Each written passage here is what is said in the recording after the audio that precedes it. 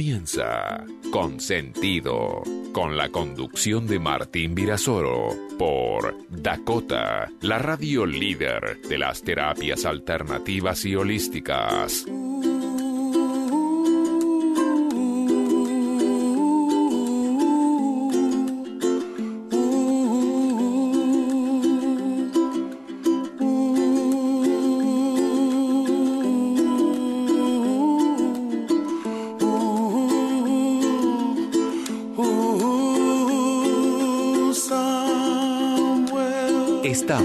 Compartiendo con sentido. Pero muy buenas noches, bienvenidos a Consentido, pasados eh, dos minutos de las 21 horas. Aquí estamos con mi querido amigo y colega eh, Juancito Riera, ¿cómo le va? Hola, ¿cómo le va? Muy bien, ¿cómo anduvo? Muy bien, muy bien. Bueno, ¿cómo anduvo Jujuy? ¿Todo bien? Todo bien. Ahora le voy a contar a la gente. Pues siempre lo mando al frente.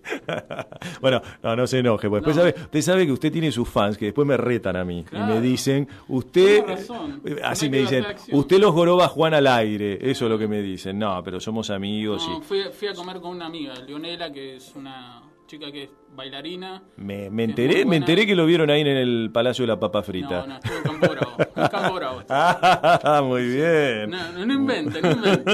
No, no, es una amiga. Es, eh, es actriz y bailarina y después tuvo un programa del Baiano ella. Ah, bueno, lo vamos a invitar un día Una, ta- entonces. una, una tarde cualquiera, no me acuerdo. Una tarde cualquiera, exactamente. Bueno, mi querido Juancito, que quiero que le dediquemos este programa a, a Sergio, a Alejandro, a Emma, Emita, eh, que te mejores. Eh, eh, ¿Ustedes se acuerdan de Emma, nuestra fan número uno que siempre nos llama y, este, y nos escucha? Así que Emma, eh, que se curen esas nanas, este, nosotros de acá te consentimos mucho, te mandamos un beso muy grande para vos, para Claudia y para toda la familia.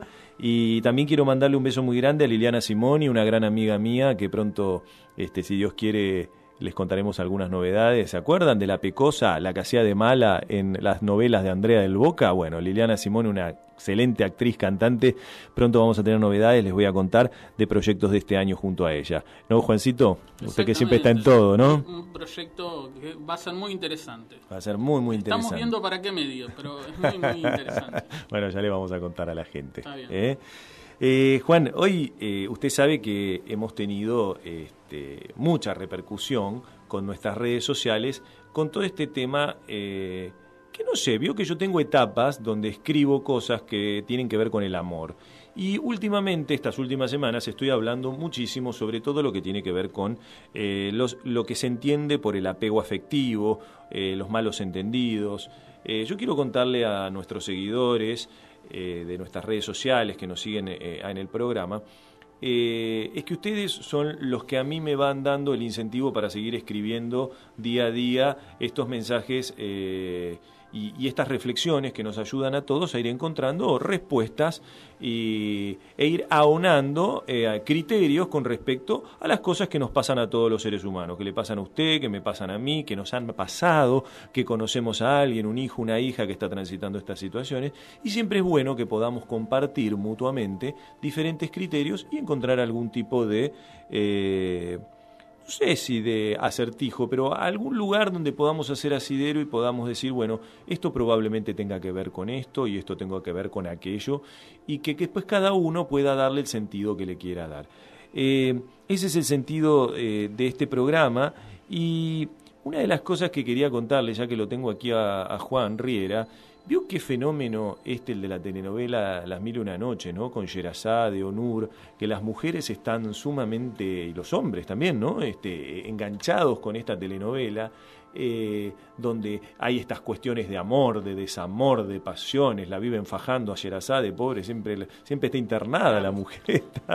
Siempre la liga. Siempre la liga es una cosa tremenda, pero también hay mucho de todo lo que tiene que ver con el apego afectivo ahí en esta, en esta novela.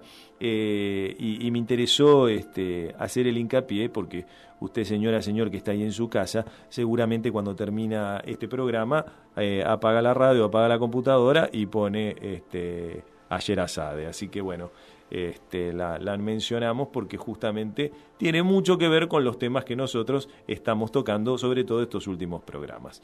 Bueno, Señoras y señores, si ustedes quieren comunicarse aquí con la Radio Dakota y opinar sobre el tema del día de hoy, que es entendiendo el apego efectivo con sus malos entendidos y eh, conceptos de lo que significa, lo pueden hacer al 4866-0900. Si usted es del interior del país, puede marcar el prefijo 011 y luego el 4866-0900 y los chicos Fer, eh, que está ahí en el control, este, les va a pasar la comunicación. ¿sí?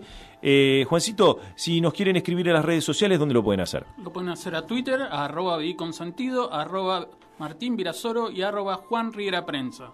O en Facebook, Martín Virasoro OK. Acuérdense, Martín Virasoro 2OK. Y también pueden seguir la página del Instituto de Counseling, Instituto Superior de Formación en Counseling. Tiene novedades, ¿no? Muchas novedades tenemos de eso. Ahora las vamos a La pueden seguir a través de facebook.com y SFCBA. Muy bien.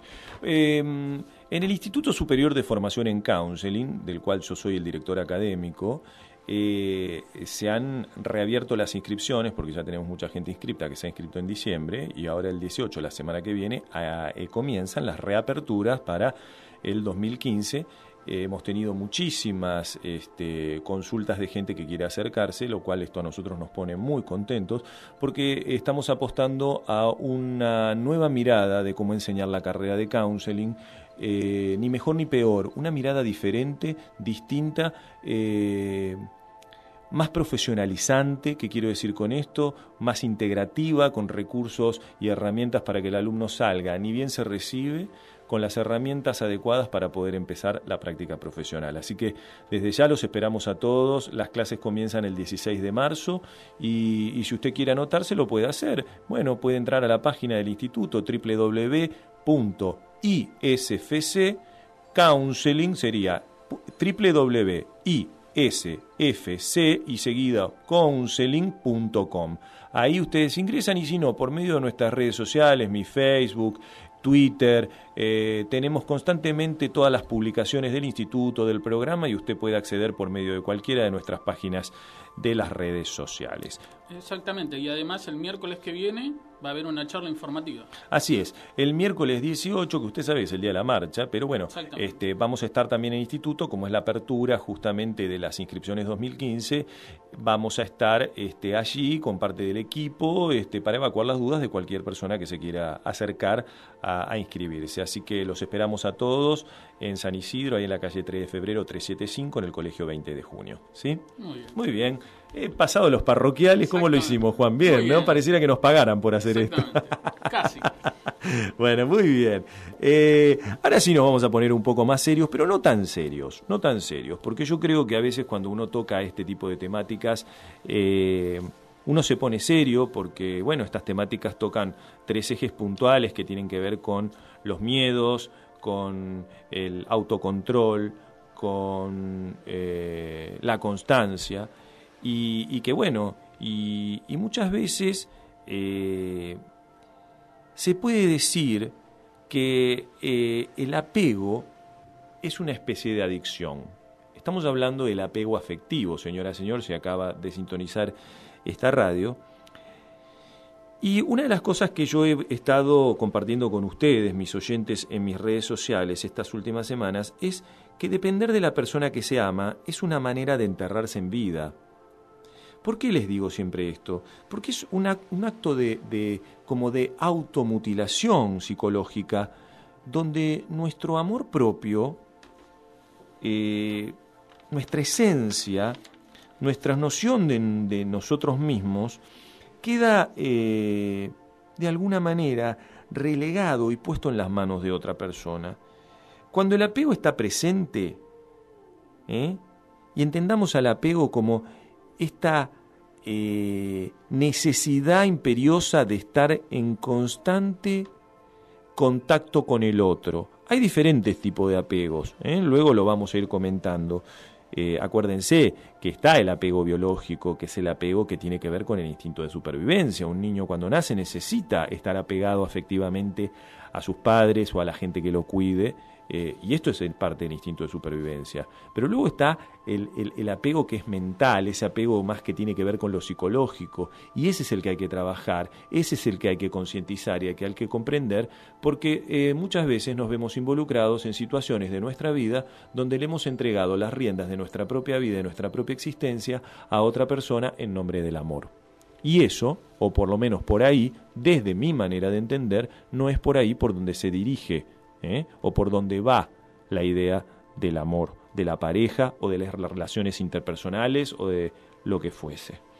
Ahora, recién les decía que cuando el apego está presente, ¿eh? más que en un acto de cariño desinteresado y generoso, es una forma, ¿cómo decirles?, de capitulación, una, sería como una rendición guiada por, por el miedo, ¿sí? Con el fin de preservar lo bueno que ofrece una relación. Pero ojo con esto, porque esto es un engaño ¿eh? que uno se hace, eh, porque bajo del disfraz del amor romántico, del romanticismo, muchas veces la persona pegada comienza a sufrir una especie de despersonalización o propiamente una despersonalización lenta e implacable hasta convertirse en un anexo de esa persona que ama, como si fuese un, un simple apéndice, por decirlo de alguna manera, ¿verdad? Eh, y peor es cuando la dependencia es mutua, ¿no? Eh, ahí ya estamos justamente, eh, si uno estornuda, el otro se suena la nariz, si a uno le duele la rodilla, al otro le duele la oreja. Usted ahí en su casa probablemente se esté sonriendo este, porque debe conocer o le debe pasar esto. Yo escucho constantemente, incluso en las redes sociales me escriben en privado, a diario, montones de personas y muchas veces uno escucha esta idea de mi existencia no tiene sentido sin él o sin ella, por ejemplo. ¿sí? Vivo por él y para él o vivo por ella y para ella. Em, no sé qué haría sin ella, me ha dicho hoy una, una, una persona que a mí en lo personal me trae como mucho conflicto, pero no porque a mí me traiga conflicto escuchar que la otra persona diga eh, que no puede vivir sin la otra persona. Me, me, me, conmueve este hecho de decir qué es lo que se estará poniendo en ese apego afectivo con una persona, de decir no puedo vivir sin esa persona. Claro, el amor tiene que ver con toda esta cosa mágica de lo que significa.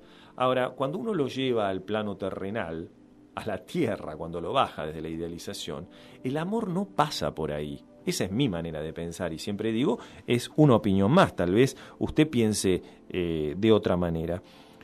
Eh, siempre digo que la manera contradictoria, ¿sí? Eh, que, tenemos es que la tradición o la cultura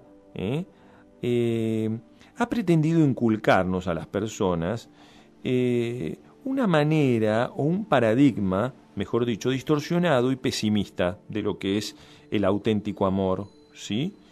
Eh, y pareciera que este, este apego, este amor, siempre tiene que estar, eh, por decirlo de alguna manera, como eh, infectado, me gusta decir a mí, como desde la adicción. ¿Vieron? Para que ustedes entiendan, el apego afectivo es tan, tan grave como una persona adicta. ¿Sí? Simplemente que una persona adicta es adicta a las sustancias y eh, una persona apegada patológicamente, ¿sí? Es una persona que no puede tener el eje ni el equilibrio de su vida si no pasa por su vida por ser y verse en el otro, ¿sí? Entonces, no importa cómo se quiera plantear todo este tema, el punto central es que la obediencia debida o la adherencia y la subordinación se caracteriza al estilo sumamente dependiente de este tipo de perfiles, ¿sí? Eh, y que no son los más recomendables ¿eh? para la vida. ¿Por qué? Porque no nos sirven, porque no, no, nos alejan de, nos despersonalizan, nos alejan de nuestra esencia. ¿eh?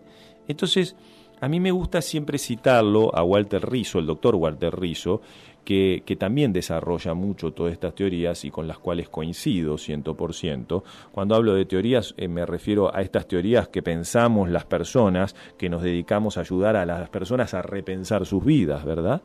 Y eh, en muchos casos, eh, pese a lo nocivo que pueda ser una relación, las personas son incapaces de ponerle fin a estos vínculos nocivos. Entonces, digo, en, en, en, en otros casos la dificultad reside en una incompetencia total para resolver el abandono a la pérdida afectiva. ¿Qué quiero decir con esto?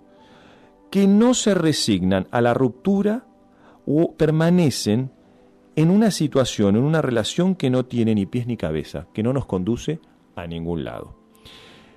Juan, usted sabe que tenemos llamados, eh, están sonando las líneas telefónicas. Antes de ir a, un tema musical, vamos a, abrir las líneas para, para, las personas que quieran comunicarse. Ustedes saben, si quieren comunicarse con nosotros, lo pueden hacer al 48660900. Muy bien, ¿quién está en línea? Hola. Hola, Martín. Hola, ¿quién habla? Sergio Martín, Sergio Barrio Norte. ¿Qué tal, Sergio? ¿Cómo te va? ¿Cómo estás? Bien, Martín, te estoy escuchando, muy, muy interesante estás diciendo.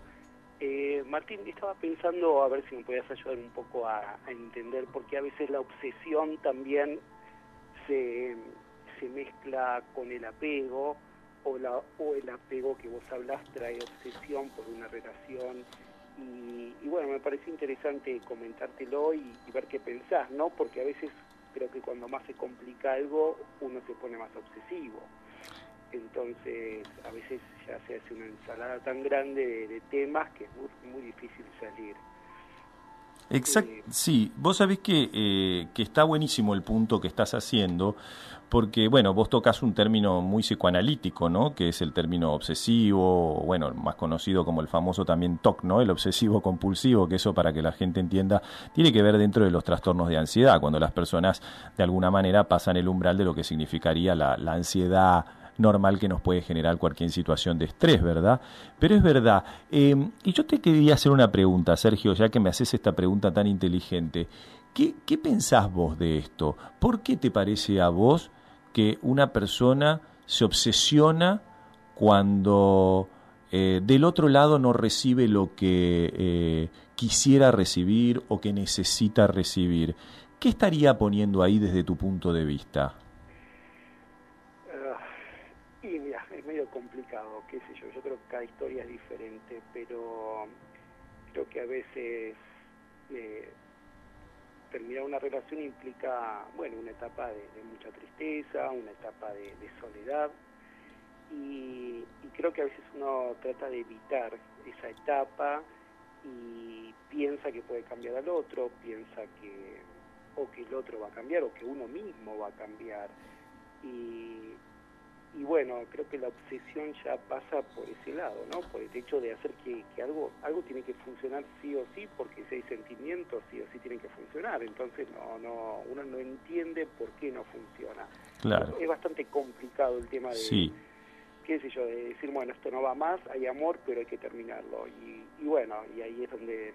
Vos sabés, Sergio, perdón que te interrumpa, ¿no? Vos sabés que yo a veces creo que eh, tiene más que ver con esta idea que nos cuesta mucho a, los seres humanos, quien te habla le ha pasado esto también en algún momento, que tiene que ver con, con esta cosa de que muchas veces cuando hay alguien que nos dice que no, ¿no? Por decirlo de alguna manera, no nos podemos hacer cargo de ese no eh, y nos quedamos sostenidos en por qué me dice que no a mí, si esto podría ser maravilloso, si yo soy una persona genial, si yo soy una persona como, como si el otro tuviese que eh, sentir por cómo siento yo.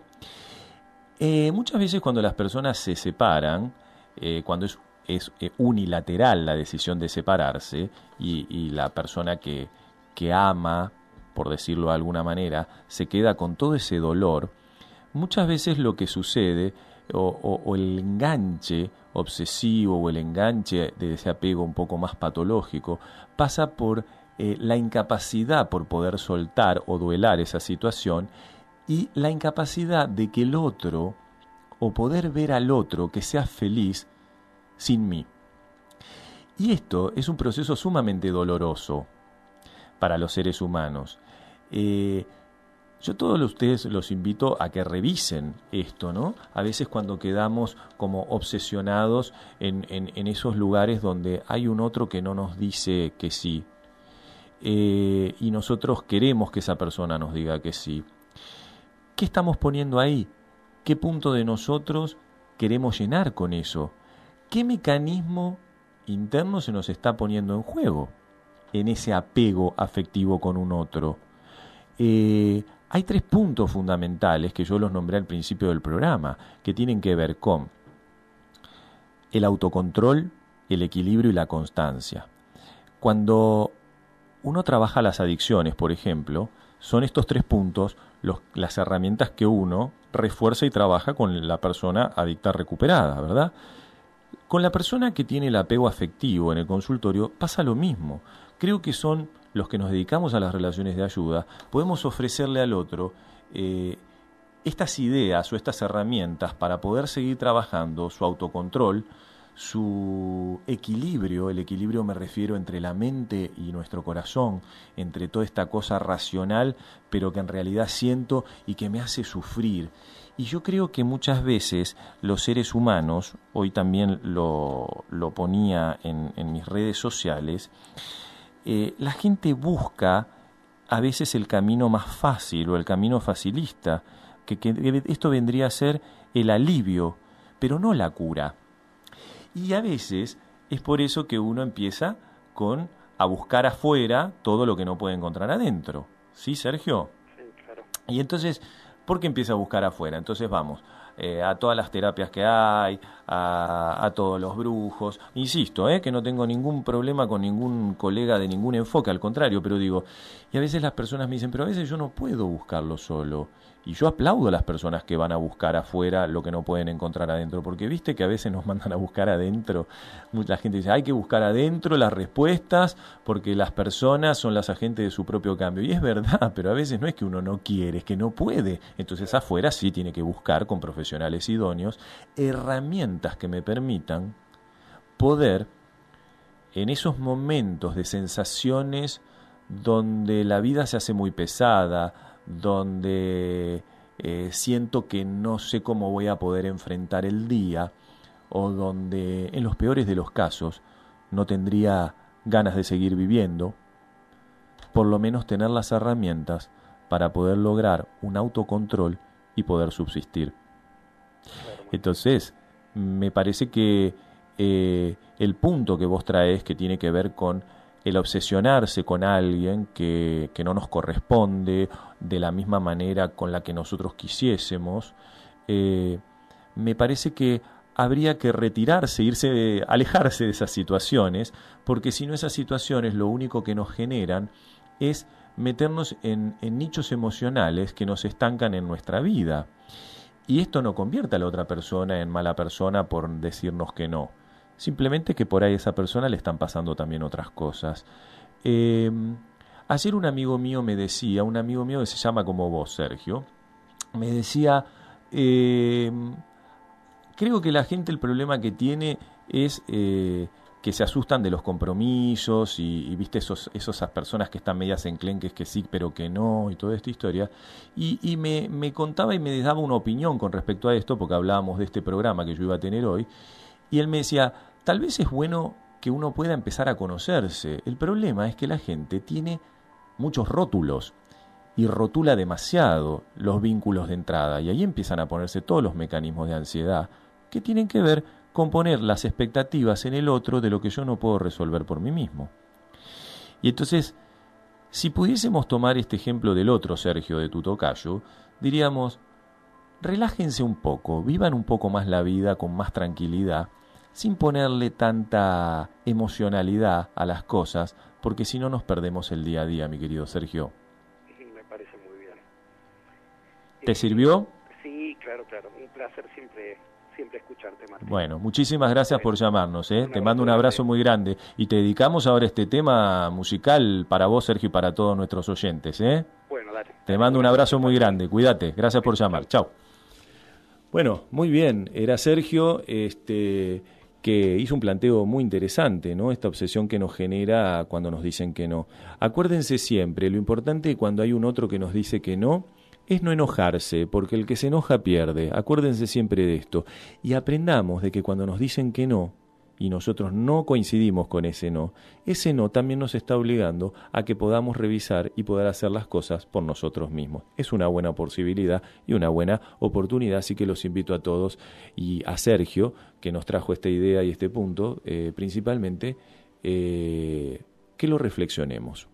Mi querido Juan, me encantaría que podamos dedicarle a Sergio y a todos nuestros oyentes y a nuestra querida Emma, ¿sí? que, que está con, eh, en su reposo, en su camita ahí, que probablemente nos esté escuchando, eh, esta canción eh, que me gustaría muchísimo, es alguien a quien yo quiero mucho, muchas veces, un par de veces la he entrevistado, la querida Patricia Sosa, un ser sumamente angelado, con una canción que me encanta y que quiero compartir con ustedes que se llama No te rindas. Vamos a escucharla.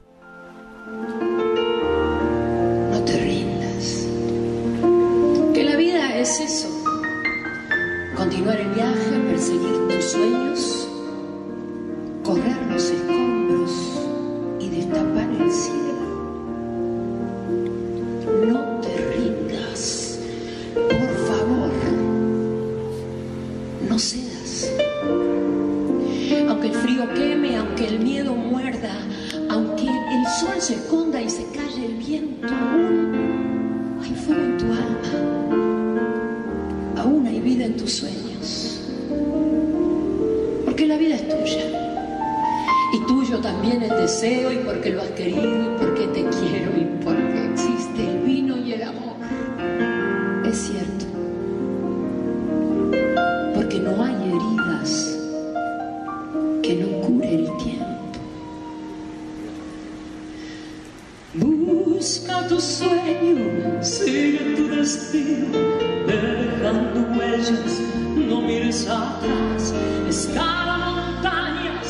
montañas y llega hasta el cielo, descubre la selva, desafía al mar, tu corazón te llevará a descubrir aquello que buscas. Abrir las puertas, quitar los cerrojos abandonar las murallas que te protegieron, vivir la vida y aceptar el reto, ensayar el canto, bajar la guardia, extender las manos, desplegar las alas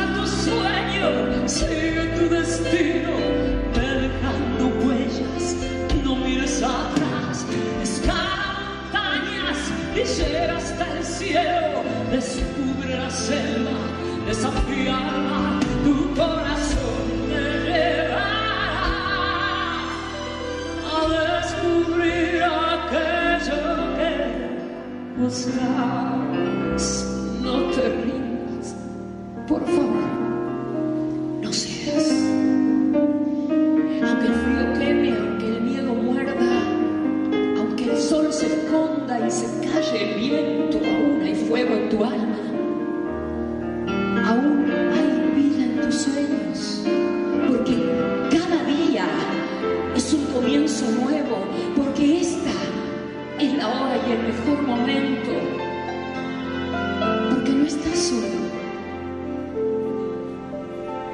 porque yo te quiero.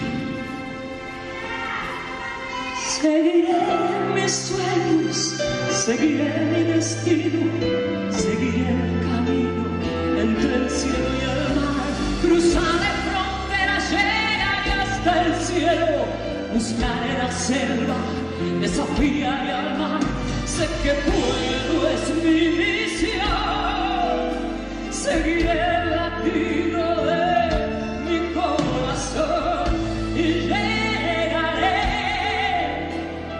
a descubrir aquello que soñé. Y así, como Benedetti nos dice de una página, no te rindas. Hay tanta gente que todo lo que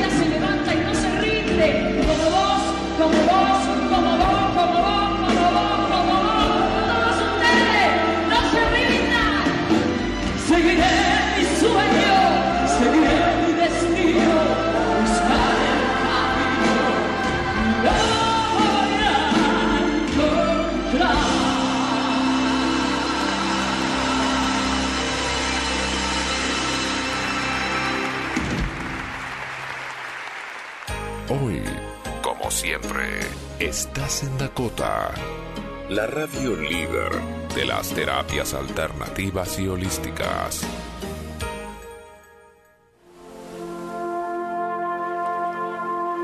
Estamos compartiendo con sentido, con la conducción de Martín Virasoro. Bueno, muy bien, seguimos aquí en Consentido. Eh, quería mandarle un cariño muy grande a Josin Campos, que nos está escuchando, Alejandro Martinovic, Alejandro un abrazo muy grande, a Graciela Vargas, a José Espósito, a Alejandro Pugliese, bueno, a todos ellos un abrazo muy muy grande que nos están escuchando. Están sonando las líneas de teléfono, tenemos muchos llamados. Eh, el desapego no es indiferencia, quiero aclarar esto. ¿eh? Eh, amor y apego no siempre deben ir de la mano, ¿sí? Muchas veces lo, entremezclamos hasta el punto que ya confundimos uno con el otro, qué es amor, qué es apego. Recuerdo un aviso eh, que había hace un tiempo en, una, en, un centro de atención psicológica que decía el apego corrompe, ¿sí? Eh, para mi sorpresa, esa consigna, en vez de generar una actitud constructiva o positiva hacia el amor, ofendió a, muchas personas, ¿no? Entonces, un poco mi idea también es que estos temas siempre los estamos tocando como temas que tienen que ver eh, desde la reflexión, no estamos hablando jamás desde la certeza, ¿sí? Em, yo siempre digo que no cabe duda que hay que desapegarse para no sufrir, esto es así. Ahora, si una persona no entiende lo que es el apego o no sabe discernir o no es consciente de, esta situación, equivocadamente entendemos el desapego como una dureza de corazón, como una indiferencia, como una insensibilidad hacia todo lo que me rodea, y esto no es así, o por lo menos no es lo que nosotros queremos explicar, ¿verdad? El desapego no es desamor, entendamos esto, sino es una manera sana de relacionarse y acuérdense que cuyas premisas son las siguientes. Son la independencia, la no posesividad del otro y la no adicción. ¿sí? La persona no apegada, o sería la emancipada, por decirlo de alguna manera, si lo quieren poner en otros términos, es capaz de controlar sus temores al abandono, no considera que deba destruir su propia identidad en nombre del amor, pero tampoco no, de alguna manera le proporciona un egoísmo y una deshonestidad al otro, ¿no? Eh, desapegarse no es salir corriendo a buscar un sustituto afectivo o una sustituta afectiva. Eh, volverse un, ser carente de toda ética o de instigar a la promiscuidad, o, eh, porque a veces las personas creen que, bueno, porque fueron de alguna manera lastimadas emocionalmente o lo que fuese, salen corriendo y, hacen macanas, ¿verdad? declararse efectivamente libre, señoras y señores, es promover afecto sin opresión, es distanciarse, o por lo menos esta es mi manera de verlo, en lo en lo perjudicial, hay que, hay que distanciarse de lo que nos perjudica y hacer contacto con la ternura. La ternura es una bella palabra. El individuo o las personas que deciden romper con la adicción en su pareja, ¿sí? Son personas que, que entienden que desligarse psicológicamente no es fomentar la frialdad afectiva, porque la relación interpersonal nos hace eh, humanos, ¿sí?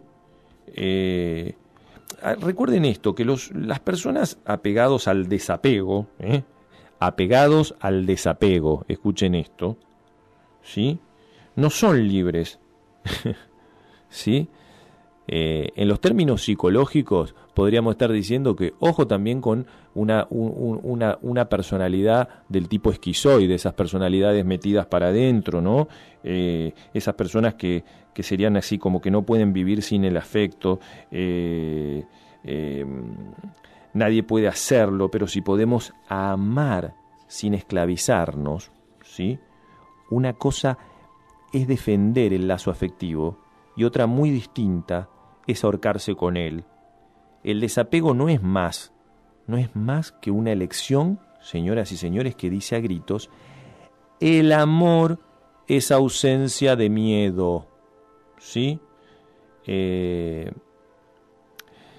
un adolescente que había, les quiero contar algo, un adolescente que había decidido desprenderse amando, le envió una carta a su novia contándole esta noticia, la cual ella le devolvió una pequeña bolsa de basura, hecha añicos, y, citó a continuación un trozo de esta, ¿no? Vamos a, vamos a contarle. Lo voy a buscar acá para leerlo. Le puso, si estás a mi lado me encanta, lo disfruto, me alegra, me exalta el espíritu, pero si no estás, aunque lo resista y me haga falta, puedo seguir adelante sin ti.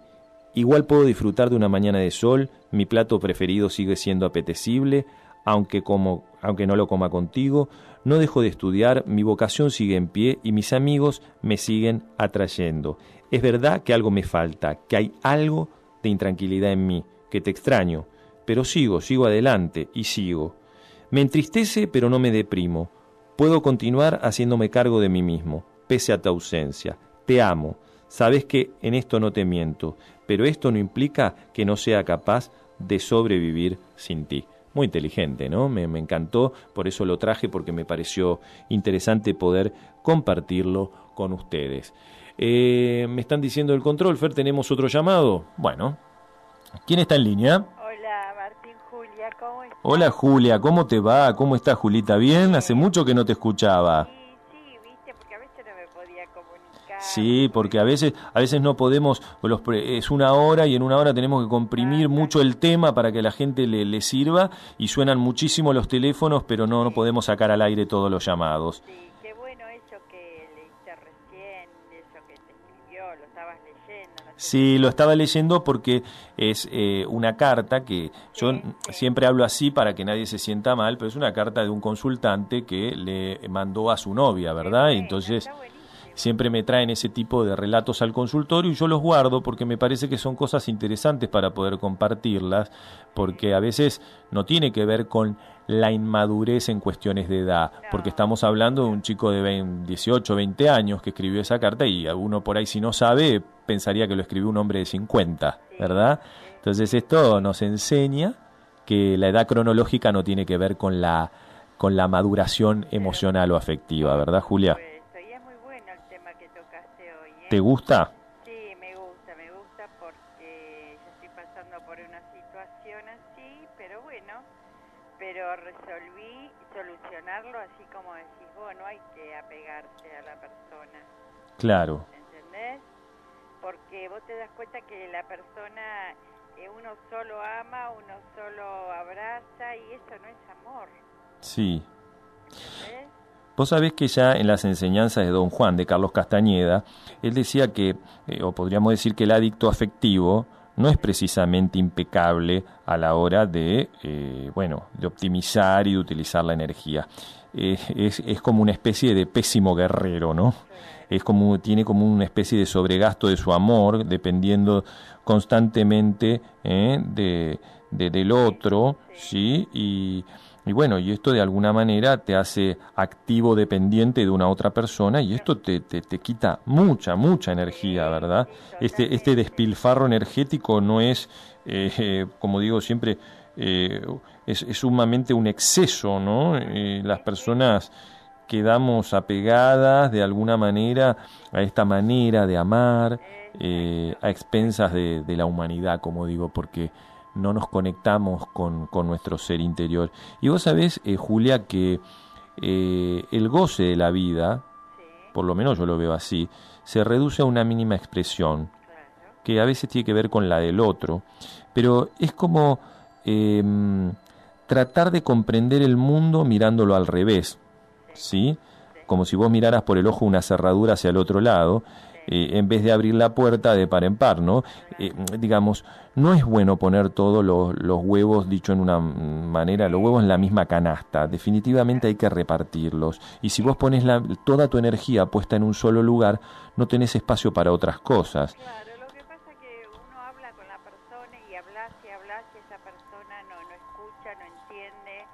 Y yo, como buena pisciana, soy muy romántica y no había un carrico perfume, un beso, así, todo así, y eran siempre excusas, excusas. Y bueno, hasta que tuve que optar y dije, bueno, hasta aquí llego. Claro. Porque iba, venía, iba, venía, iba, venía, y viste, pero no. Pero pudiste decir hasta acá llego. Exactamente. Eh, vos sabés que, y, y con esto quiero invitarte a escuchar un tema musical, ¿no? Pero digo, eh, quiero quedarme con esto último que dijiste y agregar que el apego enferma, señores, señoras, Eh, castra, incapacita, energía. Exacto, sí, elimina criterios, degrada, somete, deprime, Te humilla.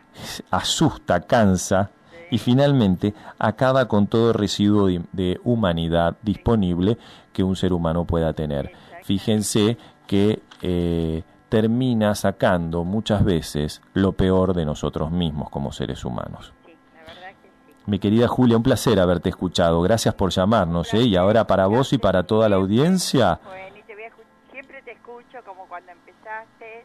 Te mando un beso grande. gracias, mi amor. bien, ¿eh? Te mando un cariño muy grande. ¿eh? Muchas gracias, mi vida. Chao, mi amor. Juancito Riera, ¿con qué vamos a deleitar a nuestra audiencia? Vamos a escuchar a Ale Lerner y a Soledad con el poder de los sueños. Me encantó.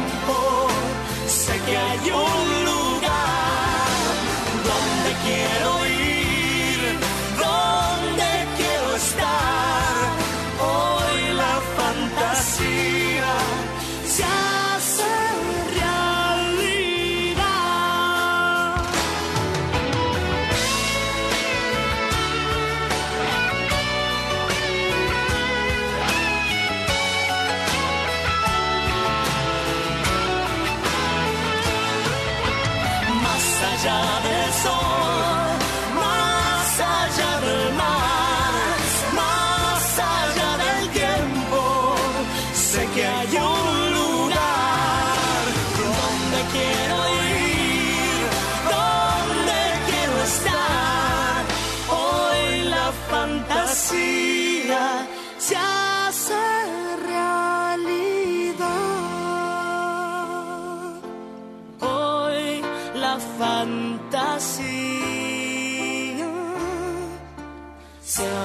Hoy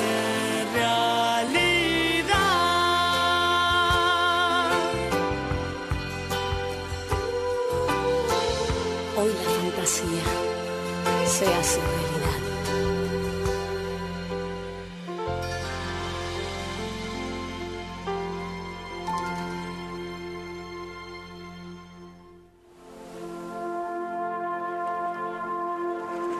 Consentido.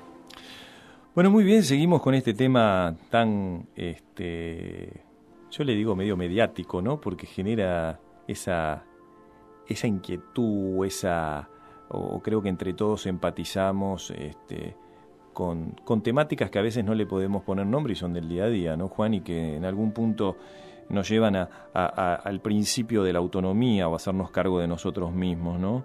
Eh, ustedes saben que tal como lo han afirmado muchos psicólogos, filósofos, pensadores en de todas las épocas, eh, la libertad y el miedo van de la mano, ¿sí? Eh, algunos filósofos hablaban de esto, que son pocos los que quieren la libertad, pero la mayoría solo quiere tener un amo justo. Pero cuando las personas deciden hacerse dueñas de su propia vida o de su vida y de sus decisiones, el crecimiento personal no tiene límites, señoras y señores. La búsqueda de la autonomía es una tendencia natural en sujetos sanos y más todavía cuando la libertad se restringe, los humanos normales nunca nos damos por vencidos. En psicología o en todas las relaciones de ayuda ha quedado demostrado que las personas autónomas que se hacen cargo de sí mismas desarrollan un sistema incluso hasta inmunológico altamente resistente a todo tipo de enfermedades. Yo sé que tenemos en la audiencia médicos o futuros médicos que están escuchando como Josín Campo, eh, donde probablemente podrán eh, darnos su opinión con respecto a esto, ¿no? Que eh, las personas con mayor autonomía son personas que desarrollan un sistema inmunológico mucho más fuerte, ¿sí? Los maestros espirituales de distintas partes de todo el mundo coinciden en decir que cuanto menos necesidades creadas tenga una persona, más libre será. Eh, y hay un cuento de Sócrates que dice que eh, Sócrates entró a una tienda, ¿no? Y luego de demorarse un tiempo largo observando en detalle cada artículo de la, de la tienda y revisando cada artículo, salió del lugar claramente asombrado. Y cuando le preguntaron el motivo de su sorpresa, eh, Sócrates respondió, estoy fascinado. ¿Cuántas cosas no necesito para mi vida? y por desgracia, como lo decía Sócrates, las personas que sufren de apego afectivo son las que más bloquean la autonomía, porque sus necesidades son demasiado fuertes y la adicción a otro ser humano es lo más difícil de erradicar de adentro de uno, y más aún cuando la motivación de fondo es la necesidad de seguridad y de protección. Eh, muchas veces eh, escucho por ahí esta cosa de más vale mal acompañado que solo. En fin, tengo mis eh, propias opiniones con respecto a esto, y mientras este principio de la exploración facilita esta obtención de reforzadores y la pérdida del miedo a lo desconocido, el principio de la autonomía permite adquirir esa confianza en uno mismo y perderle el miedo a esa soledad que tantas veces nos cuesta. Es como esta cosa de este estilo de vida orientado a la libertad. Y hay tres atributos psicoafectivos importantes que me gustaría dejarles para que ustedes lo- los piensen, que tienen que ver con esta idea de la defensa de la territorialidad, ¿sí? Palabra difícil, territorialidad, ¿sí? Defender nuestro territorio y una mejor utilización de la soledad y un incremento en la autosuficiencia que de alguna manera en algún programa lo iremos desarrollando para que cada uno de ustedes pueda ir viendo desde qué lugar se identifican. ¿Tenemos el último llamado? A ver. Hola. Hola, sí, buenas noches. Buenas noches. Me parece que ya no te acordás quién habla, pero no importa. A ver, Eh, primero, este, te felicito. Muchas gracias. Mirasoro. muchas gracias. porque Esa voz me suena muy conocida. Me tampoco la vas a ubicar. A Pero no tenemos mucho tiempo por lo que estoy viendo. este, he hablado con vos cuando empezaste el programa. Sí. Te sigo escuchando casi, bueno, cuando puedo, cuando estoy en casa. Y mi nombre es Raquel. Raquel, ¿cómo estás Raquel? Bien, ¿cómo te va? Bien, querida, ¿cómo va todo? Bien, y este tema, para hacerlo un poquito más rápido, porque ya sé que en un ratito te, te Sí. cortan el programa, es uno de mis temas eh, también de columna vertebral en, en las temáticas que toco. Ay, qué bueno. Y por eso me gustó y por eso quiero simplemente que me contestes si podés. ¿eh? Claro. Dos, esta pregunta. Apego, hablaste y perfecto, lo comparto en todo. Desapego también. ¿Cuál es la diferencia entre el apego y el desapego con el desamparo y el abandono? Claro. Está buenísimo el punto. Porque Vos, la gente se confunde mucho. vos fíjate que eh, la gente apegada, por decirlo de alguna manera, es la gente que, que no tiene autonomía, donde, viste, esta cosa como pareciera que no hay amor, ¿no? Solo es... Cla- exactamente, como esas, como solo esa adicción eh, complaciente que de alguna manera Sin vos no puedo vivir. Me exactamente. muero, en cuanto te morís vos me muero yo. Exactamente, y como pareciera también, viste, estos perfiles de gente que anda como por la vida jugando a las escondidas, viste, que, que de alguna manera no pueden establecer esos límites propios, como digo yo, de su privacidad, algo así como esa reserva de... eh, Tener su propio proyecto Ex- y no tener que pedírselo al otro que le dé permiso para, para poder subsistir. Exactamente, exactamente. Y yo creo que, que tiene que ver con eso, con que el amor consiste en esto, en que eh, en este tema de las dos soledades que se postergan y se tocan mutuamente y se saludan, pero que, que los seres humanos de alguna manera estamos en un constante intercambio vivo y en una presencia compartida donde ambas soledades, por eso yo toco el tema de la soledad, porque tiene que ver con la soledad la Porque tenés que diferencia. aprender a quedarte solo. Exactamente. de. Creo Y- que si no me equivoco, Sí, te agrego un poquitito, sí. el apego a las personas que estabas hablando vos es Sí. como a las sustancias. Exactamente. Llega un momento que la abstinencia tiene que ver con poder quedarse solo realmente en soledad consigo mismo. Exactamente. Y aprender a decir que solos también podemos ser amigos de nosotros mismos, porque pareciera que la soledad se transforma en una cosa de... ¿no? Y después empezar a buscar nuevos amigos. Exactamente. No es de naturalizar y quedarse solo, porque la vida no es para estar solo. Conozcan gente, esto que dice Raquel, chicos, la vida empieza... no es para quedarse solo. Pero absolutamente. Eh, yo creo que, que- que el ser joven eh, es parte de, de- de- de esa espontaneidad interna, no tiene que ver con la edad cronológica, ¿no? Eso, Es estar cerca de la fuente de la vida, ¿no? Exactamente, ser joven es una actitud en la vida y bueno, lo que no me quedó, que te lo pregunto rápidamente, desamparo. El desamparo. Porque hay mucho desamparo en esta sociedad en este momento. El desamparo, que es esa, esa sensación, Raquel, viste, de, de desprotección, Sí. de, de no cuidado, de no abrazo. Ajá. Y, y esto es lo que yo decía hace un rato, Entonces- no confundamos que a veces el, el desapego tiene que ver con el desamparo, porque acordate lo que hablamos Con siempre, indiferencia, con la que yo Estoy de indiferencia. acuerdo con vos porque he hecho varios programas hablando casi con las mismas palabras que hablaste vos Exactamente, entonces Pero, digo... pero vuelvo a preguntarte, cuando una persona se siente desamparada, indiferente por alguien, eso no está bueno. Absolutamente. Bueno, Por eso yo siempre digo que muchas veces cuando uno ha sufrido estos grandes, Mm. por decirlo de alguna manera, eh, golpes emocionales, Sí.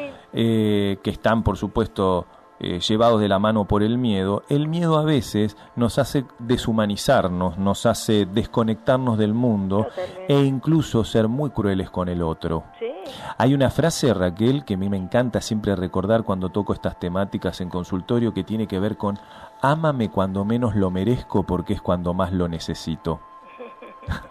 está muy bueno. Y está bueno Y porque... también, disculpame Sí. porque te van a cerrar el programa, Sí. que vos comentaste algo de que estamos, eh, la libertad, ¿no? Exactamente. Y si, si uno está con el apego no tiene libertad. Y también hay que recordar la frase de que estamos condenados, porque lo dijo Sartre, Sí. a ser libres. Entonces Exactamente. habrá que luchar toda la vida bajo la utopía de que en algún momento uno se pueda sentir realmente libre. Me encanta Pueda escucharte, Raquel, sos una divina. Pueda eh, tener eh, sus propias convicciones, pueda pensar, pueda sentir, pueda actuar en concordancia, en coherencia, como decimos los consultores psicológicos. Claro que sí, Raquel Len. Señor Martín Virasoro, Hermosa, gracias por llamarme. No, al eh, quería y felicitarlo porque el programa está muy bueno. Gracias, La mi amor. tiene que llamar más y animarse Gracias, a mi vida. participar y nada, me gusta. bueno, y ya prontito nos vamos a estar viendo nosotros por otras cuestiones. Sí, por, pero no, no, no por eso No, yo sé, mi amor, ya sé que sí, pero, pero me Sí. encanta compartir con vos porque este, sos una, una, una gran counselor, una gran luchadora de esta profesión Sí, y sos verdad una gran promovedora de, nuestra filosofía. toda la gente, como, Claro. bueno, la- bueno, gente como vos y gente que ha traído acá a la profesión. Estoy muy ligada a esos profesionales también. Gracias, mi amor, te mando un cariño muy grande, mi vida. bien y. Gracias, mi vida, gracias. Raquel Len, consultora psicológica, también tiene su programa acá en la radio de Dakota. Y voy a cerrar con esto que decía Raquel, eh, la libertad que tiene que ver con poder hacernos, y esto probablemente nos lleve toda la vida, señoras y señores, a hacernos cargo de nuestra propia existencia. Sí, practiquen esto, el equilibrio, el autocontrol y la constancia. Son los tres puntos más difíciles, pero cuando uno los logra alinear es donde, desde mi punto de vista, uno encuentra el poder de hacerse cargo de su propia existencia. Espero que hayan disfrutado tanto este programa como lo disfruté yo eh, con todos ustedes y que hayamos podido sumar eh, un poco más a las reflexiones de todas las semanas y obviamente, mi querido Juan, nos vemos el jueves que viene aquí por Radio Dakota eh, a las 21 horas. ¿Sí, Juan? En esto que, que llamamos Con sentido. Dakota, la primera y única radio dedicada íntegramente a las terapias alternativas y holísticas.